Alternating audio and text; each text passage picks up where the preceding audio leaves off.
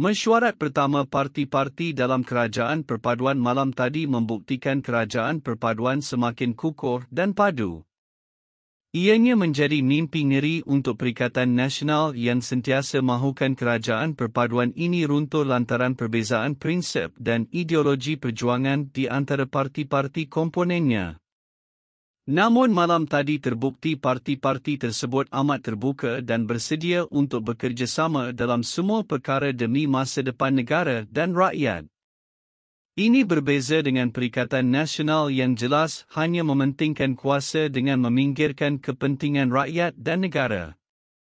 Kekukuhan kerajaan perpaduan dibuktikan dengan Perdana Menteri Anwar Ibrahim mengumumkan semua parti dalam kerajaan perpaduan telah memberikan komitmen untuk bekerjasama dalam pilihan raya negeri yang akan diadakan pada bila-bila masa. Bercakap dalam mesyuarat pertama Majlis Sekretariat Kerajaan Perpaduan di Ibu Pejabat AMNO di Kuala Lumpur hari ini, Anwar turut mengumumkan penubuhan tiga jawatan kuasa. Satu hal yang disepakati yang sangat positif Perikatan bagi Nasional saya PN adalah ini kerana kesepakatan dan komitmen semua yang parti akan termasuk rakan-rakan dari itu Sabah, sebagai Sarawak pembangkang untuk di terus Parlimen. membantu Perkara sebagai itu satu diumumkan pasukan katanya Sri dalam sidang Yassin media selepas berakhir selepas Parlimen mesyuarat PN hari tersebut ini. malam ini PN katanya kebenaran bersetuju dengan cadangan Sekretariat Ahli Parlimen Dunia, PN diwujudkan jawatan kuasa portfolio ahli Parlimen. Tiga jawatan kuasa itu merupakan jawatan kuasa perundingan kerusi, jawatan kuasa pemantauan agenda kerajaan dan politik, dan jawatan kuasa komunikasi strategik.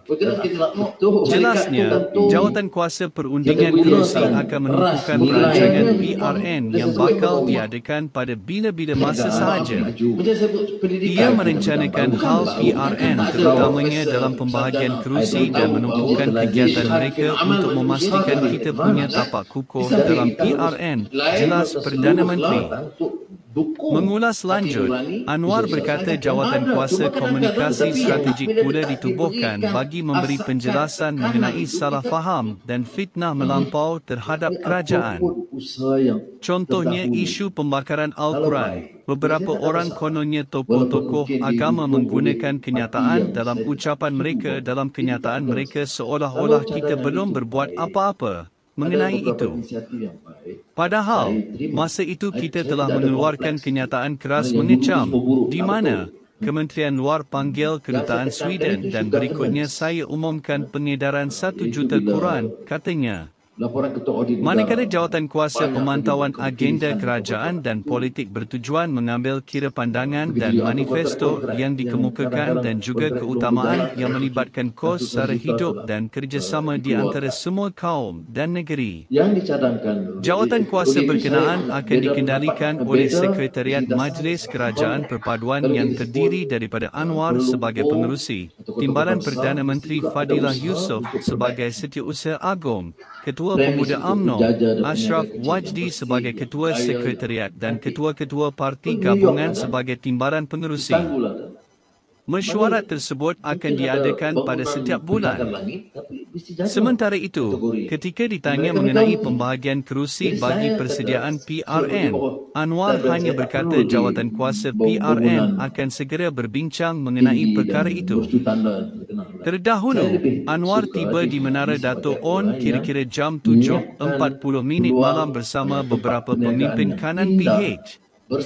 Penampilan Anwar di bangunan AMNO itu merupakan yang pertama kali dalam tempoh 25 tahun selepas dipecat daripada kerajaan dan AMNO pada 1998. Ia juga merupakan kali pertama bagi Anthony Long, Setiausaha Agong DAP, dari sebuah parti yang berseteru dengan AMNO sejak sekian lama dan Presiden Amanah, Muhammad Sabu. Parti Amanah Negara Kawasan Hang Tuah Jaya sedang mengumpul dana untuk membantu kempen pilihan raya negeri Selangor, Pulau Pinang, Negeri Sembilan, Kelantan dan Terengganu. Sudilah kiranya hulurkan derma ikhlas untuk kami. Terima kasih kerana menonton. Jangan lupa subscribe, share, tekan butang loceng. Dalam beberapa rencana terakhir sebelum dia meninggal dunia, dia kata, let us review this. Sebab alternative bank, the bank Islam itu bukan saja bank tanpa riba. It must provide a viable economic alternative. A viable economic alternative is not just free of uh, usury or interest.